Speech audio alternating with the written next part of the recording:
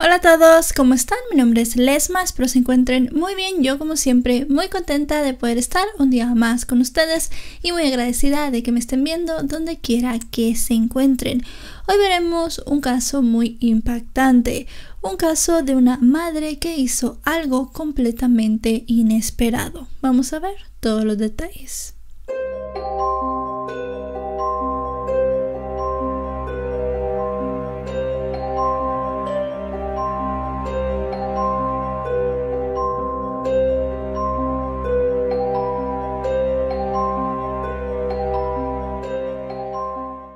Isabel Cartuno Martínez nace en Michoacán, México, en el año 1989. Isabel creció junto con su familia en un pueblo llamado Benito Juárez. De la niñez y la adolescencia de Isabel no se tienen realmente muchos datos. Lo que sí se sabe es que un poco después de haber cumplido los 20 años, ella se marcha hacia Estados Unidos ayudada por un coyote. Estando en el país comienza a buscar trabajo. También también estando allí, ella da a luz a su primera hija, una niña que bautiza con el nombre de Isabel. El padre de Isabel no se hizo cargo de la pequeña, así que solamente estaban ellas dos. Pero unos meses después del nacimiento de la niña, ella conoce a un hombre de nombre Martín. Martín también era originario de Michoacán.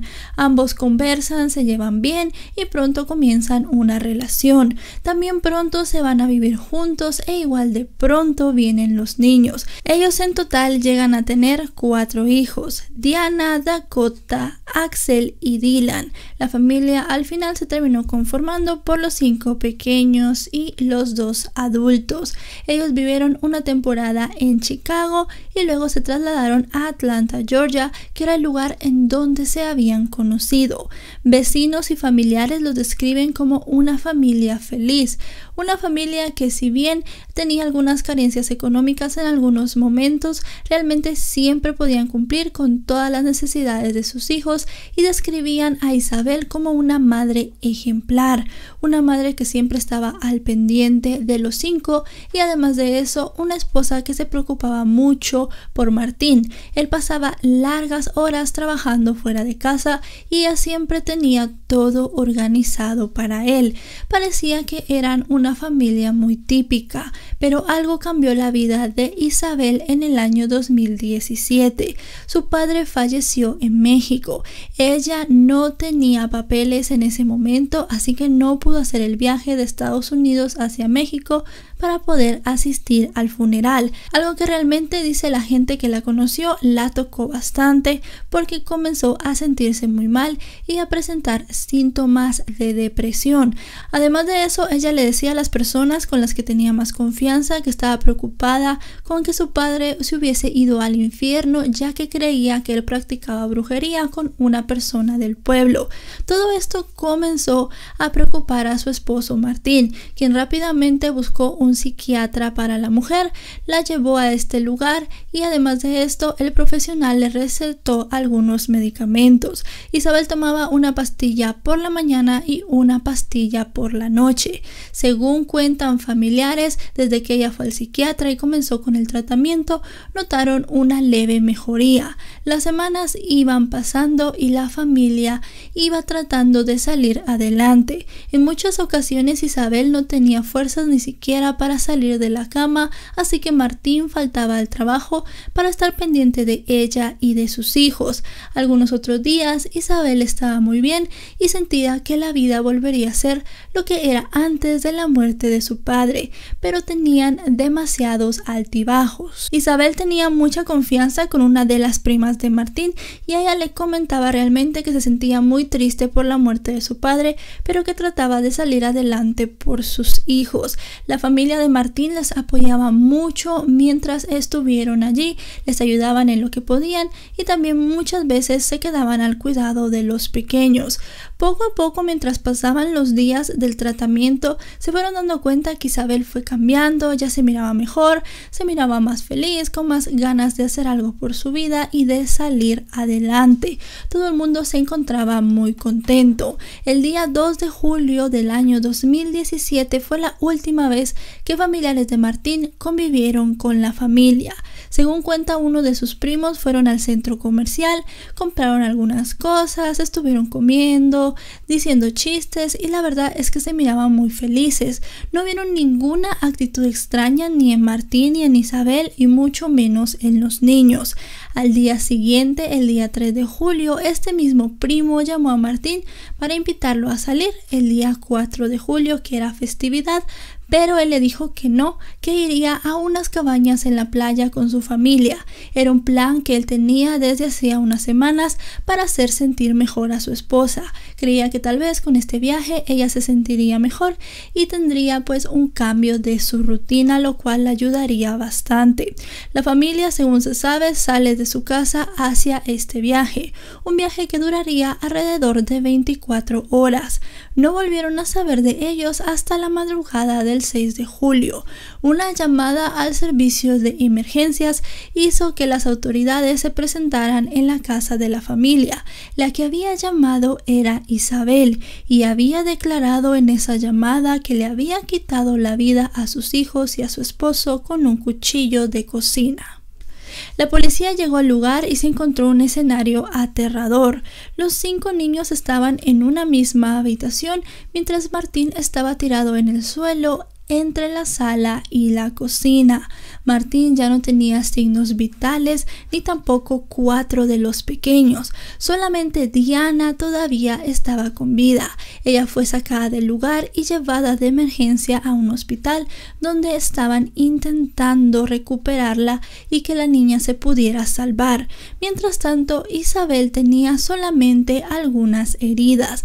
La herida más pronunciada de la mujer era un corte que tenía en la muñeca. En la casa también se llegó a encontrar muy cerca de los cuerpos tanto de los niños como de Martín algunas imágenes religiosas y una Biblia. Todo esto propiedad de Isabel. Además de eso se recogió el cuchillo de cocina con el cual se creía se habían dado todos los crímenes. Isabel fue llevada primero al hospital para ser curada de su herida y luego de eso fue puesta en custodia policial como la principal sospechosa del crimen. Todo esto conmocionó a los vecinos y también a los familiares. Realmente en la casa había sucedido una masacre. Cuatro niños menores de 12 años habían perdido la vida y también un hombre que se encargaba de cuidarlos era su padre y era un padre muy responsable. La conmoción se hizo no solamente a nivel nacional sino también a nivel internacional ya que el caso llegó a resonar en muchos otros países. Mientras tanto, las declaraciones de Isabel eran cada vez más extrañas. La llamada a emergencias quedó grabada y ella en español dijo que era la persona quien había cometido los crímenes, pero cuando fue interrogada por las autoridades cambió completamente esta versión. Ella dijo que la persona que había perpetrado todo esto había sido un amigo de la familia, un amigo que los visitaba regularmente, que ese día estaba en la casa y que de alguna u otra manera había tomado un cuchillo de la cocina y había comenzado a apuñalar a toda su familia. Era algo realmente extraño. Cuando le preguntaron a Isabel quién era esta persona, ella dijo que no daría nombres porque eso era trabajo de la policía, que pronto con la investigación se sabría quién había sido. Dijo además que las heridas que tenía se las había hecho este hombre cuando ella había intentado quitarle el cuchillo y que cuando vio que ella se estaba resistiendo había salido huyendo de la casa. Todo esto era demasiado extraño ya que no concordaba con nada de lo que se veía en el lugar. Las huellas de Isabel estaban por todo el cuchillo y no había otras huellas. Entonces al final ella había sido la única persona que había tomado ese cuchillo. En esta declaración también dijo que ella había movido a sus hijos hacia la habitación donde habían sido encontrados para que estuvieran, según ella, todos juntos. Agregó también un poco de información sobre el viaje que habían hecho ese 4 de julio. Dijo que habían ido a unas cabañas en la playa, pero que en cierto punto del viaje ella no se había sentido bien. Dijo que se acercó al mar y que sintió como las olas querían llevársela a ella y a sus hijos. Se sentía incómoda y le pidió a su esposo regresar a la casa. A lo cual éste le hizo caso. También dijo que mientras estaba allí había sentido una presencia que para ella era diabólica y por eso no quería estar en ese lugar, que le había sido algo muy feo el estar allí y que no había sentido buenas energías. De vuelta en la casa, dice que comenzó a rezar ya que era una mujer que tenía una enseñanza religiosa muy fuerte. Toda esta provenía de su madre, quien en su pueblo también era una persona conocida por ser una mujer de mucha fe. Agregó también que sabía que era inocente porque si no lo fuera no se sentiría tan calmada como en ese momento. Además de eso, el comportamiento de Isabel llegó a ser muy extraño, no solamente en la detención y en esta declaración, sino también en la primera vista que tuvo ante el juez, en la vista donde le leyeron todos sus derechos y ella dio una declaración inicial. Se miraba muy extraña, tenía una sonrisa rara en su rostro y comenzaba a hacer señas un tanto extrañas. En cierto punto hasta llegó a hincarse al lado de las otras reclusas, algo que a todo el mundo le pareció muy raro. Además de eso, cuando el juez le preguntó sobre su abogado, ella dijo que no necesitaba. El juez volvió a decirle que tenía derecho a tener un abogado, a lo cual ella contestó lo siguiente. Mis abogados son la gente por la que estamos luchando, la gente humilde y trabajadora. Yo haré todo para que vean que todo es posible con la ayuda de Dios. Esta declaración era muy rara ya que no tenía nada que ver con lo que el juez estaba hablando. Al final de cuentas se le puso a la mujer un abogado de oficio quien fue al final quien terminó llevando todo el caso. Mientras todo esto pasaba, la pequeña Diana estaba recuperándose en un hospital. Luego de unos días pudo hablar con un trabajador social a quien le contó distintos detalles de todo lo que había vivido la noche del crimen. Primero ella dijo que en el viaje no había visto a sus padres discutir en ningún momento, que el ambiente era tranquilo al igual que al llegar a casa, que sí había visto a su madre un tanto nerviosa pero nada que saliera de lo cotidiano o que pudiera asustarla a ella o a sus hermanos. Dijo que por la tarde cuando llegaron todo estuvo bien. Las cosas comenzaron a ponerse mal a la hora de dormir. La madre de Diana Isabel acostó a todos los niños. Su esposo también se fue a la cama. La pequeña Diana se quedó en la cocina con su madre. Dice que después de unos minutos ella vio como su madre tomó un cuchillo y subió a traer a sus hermanos. Diana fue testigo de cómo su madre apuñaló a todos sus hermanos. Uno por uno les fue provocando diferentes heridas ante la mirada atónita de la menor. Diana también cuenta que en cierto momento su padre bajó para ver qué estaba pasando, se dio cuenta de lo sucedido y trató de ayudar a sus hijos y de frenar a su esposa, a lo que Isabel respondió dándole dos puñaladas en el pecho, las cuales fueron básicamente mortales. La pequeña Diana estaba aterrada. Recuerda también que su madre se acercó a ella y le pidió perdón por lo que le iba a hacer. Le dijo que lo estaba haciendo para que se fueran al cielo y conocieran a Jesús. Luego de esto fue herida por su madre, pero aún así ella estaba consciente, pudo ver cómo Isabel se infringía la herida. Lo último que recuerda vagamente la pequeña es que su madre estaba llamando al servicio de emergencias y luego de eso ya recuerda nada más que apareció en el hospital cuando despertó luego de que la intervinieran para salvarle la vida. También llegó a decir que su madre no lloró, que tampoco gritó, no hizo ningún ruido cuando estaba apuñalando a los niños, que ella simple y sencillamente estaba callada y concentrada en lo que estaba haciendo. La corte encargó hacer un examen psiquiátrico a la acusada ya que supuestamente ella tenía antecedentes de enfermedades mentales en su familia. Su madre desde México declaró que Isabel y otra de sus hermanas padecían lo que ella llamaba problemas nerviosos. Dijo que incluso la hermana de Isabel necesitaba estar monitoreada las 24 horas para que no se hiciera daño ni a ella misma ni a otras personas. La madre de Isabel declaró que ella siempre había sido una chica muy cercana a Dios y que ella siempre le había inculcado el respeto y el temor a Dios. Dijo que seguramente como había caído en una depresión tan grande, ella realmente no estaba en sí y no sabía qué había hecho, así que estaba esperando que en la corte se diera la mejor resolución para su hija. Lo que querían los familiares y también obviamente su defensa era que a ella se le tratara como una persona mentalmente inestable y en lugar de ir a la cárcel se le diera una pena de estar recluida en un psiquiátrico. El juicio comenzó y se presentaron todas las pruebas. Al final Isabel se declaró culpable pero mentalmente inestable. Como les digo, ellos estaban buscando que ella no estuviera recluida en una cárcel de máxima de seguridad, sino que fuese llevada a un hospital o a un centro psiquiátrico.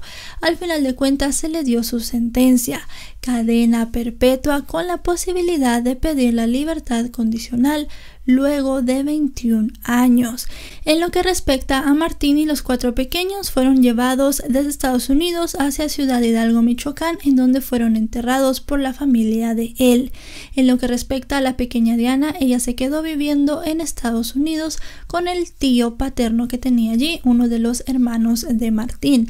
La pequeña dice que poco a poco está tratando de superar todo lo que vivió y que además de eso le gusta mucho estar con su tío porque le recuerda mucho físicamente a su padre. Dice que realmente ahora ya no recuerda tanto de esa noche como antes y que está tratando de superar las cosas. El juicio de Isabel duró dos años y en esos dos años ella no vio a su hija ni tampoco la pequeña tuvo ningún contacto con ella y ahora que está cumpliendo su pena en prisión pues muchísimo menos. Los tíos de Diana están tratando de dejar todo atrás y que la pequeña se pueda desarrollar de la mejor manera posible. La familia de Martín estuvo del lado de Isabel en muchas ocasiones. Ellos creen que ella realmente no estaba en sus cinco sentidos. Es más, todavía creen que tal vez ella no está pegada a la realidad y que si en algún momento vuelve a estar en sí, se va a dar cuenta de lo que hizo y que va a ser muy duro para ella. Por lo pronto ellos están tratando de apoyar a la pequeña para que tenga una vida lo más normal posible. Y bueno chicos y chicas, hasta aquí el video de hoy. El caso de Isabel y de su familia creo que nos deja muchas cosas para pensar. Primero no sabemos si estaba lúcida en ese momento, si ella realmente estaba consciente de lo que estaba haciendo o si eh, realmente estaba estaba mal o no. Creo que eso es algo que queda en el aire. Eso no se pudo comprobar. Es algo muy difícil de comprobar realmente. También eh, su forma de comportarse durante las audiencias y todo eso daba mucho a pensar que tal vez ella no estaba, vamos a decirlo así, eh, en sus cabales, en sus cinco sentidos, por decirlo de alguna forma, sino que tal vez estaba pasando por algún episodio de algo. La cosa fue que el examen que se le hizo, el examen psiquiátrico, se mandó a hacer muchísimo después de todo esto, así que al final todavía queda en duda si ella estaba o no estaba lúcida en ese momento. Se declaró culpable pero inestable mentalmente, que era al final lo que quería eh, sus abogados, aunque no se le dio la pena que ellos querían, que era ser enviada a un centro psiquiátrico, sino que pues va a cumplir su pena en la cárcel. Ahora pues no sabemos si va a tener contacto con su hija. La familia de Martín eh, no es que la apoye, pero si ellos piensan que tal vez ella por la depresión que tenía y todo esto no estaba lúcida cuando hizo todo eso y hasta las últimas entrevistas que dieron todavía creían que ella no estaba lúcida en esos momentos, que todavía no había vuelto en sí, que no se había dado cuenta de lo que había hecho, porque ella tenía mucho en su mente que otra persona lo había hecho. Ahora hay una contradicción aquí y es el hecho de que ella llamó al 911, al servicio de emergencias, diciendo que ella lo, lo había hecho, ahí confesó. Así que pues al final tuvo una condena, una condena de cadena perpetua, pueda perder libertad condicional en 21 años. Yo realmente no creo que se la den, pero si se la dan tendrá que ser deportada a México porque está cumpliendo su pena en una cárcel estadounidense, pero debido a la condición migratoria que tenía, un momento que pise la, eh, la calle, ella tendrá que ser deportada a su país. Así que bueno, veremos ya cuando llegue ese tiempo qué sucede con Isabel. Por lo pronto, lo bueno de toda la situación es que Diana está con familiares que la quieren, que la apoyan y que están tratando de que viva su vida de lo más normal posible, que deje ese episodio atrás y pueda desarrollarse de todas las formas posibles. Mi nombre es Lesma, si este video les ha parecido informativo, recuerden dejarle un me gusta, también compártanlo si creen que a alguien más le puede interesar. Si no están suscritos, suscríbanse porque actualizo tres o cuatro veces a la semana. Si tienen la campanita activada, serán de los primeros en ver estos videos. Me pueden seguir en todas mis redes sociales, aparezco en todas como LesmaVR, Facebook, Twitter e Instagram. En Facebook también suelo subir estos videos por si no tienen internet o por si usan más Facebook o este tipo de cosas, pues también los pueden ver por allí. Vayan para allá y nada más, nos vemos hasta otro video. Adiós.